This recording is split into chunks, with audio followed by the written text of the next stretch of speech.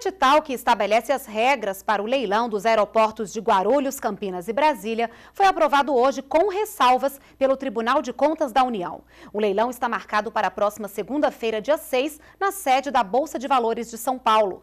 Os grupos interessados em participar dos leilões devem apresentar amanhã as propostas. Segundo o edital, grupos estrangeiros poderão participar desde que associados a empresas brasileiras. As companhias aéreas não poderão participar da composição dos consórcios concorrentes e cada grupo poderá obter a concessão de apenas um aeroporto. A Infraero terá participação de até 49% nos consórcios que vão operar os terminais.